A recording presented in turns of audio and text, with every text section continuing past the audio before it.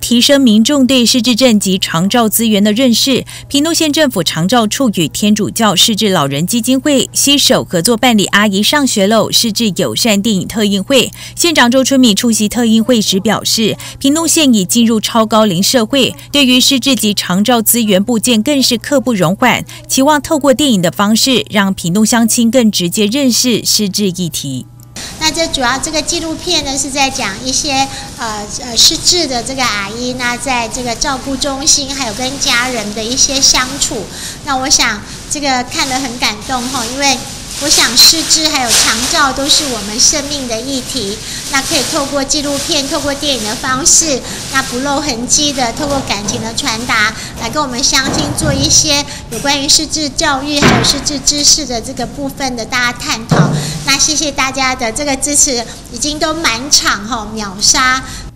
阿姨上学喽！历时两年多筹备拍摄，以看见失智者的能力为故事主轴，描述两位主角在罹患失智症后，虽然脑部认知退化导致人事物的遗忘，但对于过去正常的事情记忆依然留存，能有机会发挥所长，参与社会服务并实现自我，因而获得成就感。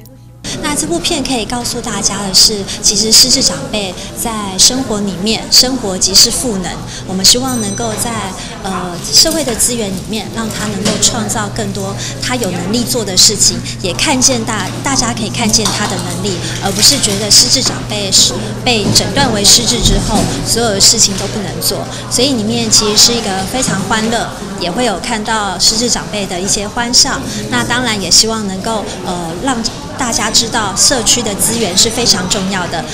屏东迈入超高龄社会，失智症盛行率也逐年增加。屏东县政府今年积极发展出更贴近需求与在地经验的照护模式，也盼透过电影特映会，吸引更多民众一起关注长照及失智症议题。所以我觉得还是要多关心他，不要说只认为他失智，他他的人格就跟人家不一样。所以。还是要多关照。我觉得失智症本身是不好不好照顾的啦，不好照顾，尤其是你如果不了解这个疾病的话，照顾起来会很困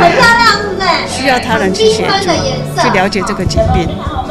对家人来讲会比较好一点。县府表示，阿迪上学喽，预计于七月十九日于全台电影院正式上映，欢迎有兴趣的民众购票走进电影院观赏。当有失智症相关需求或疑义时，也欢迎民众拨打一九六六长照专线咨询。记者张如意、刘建荣采访报道。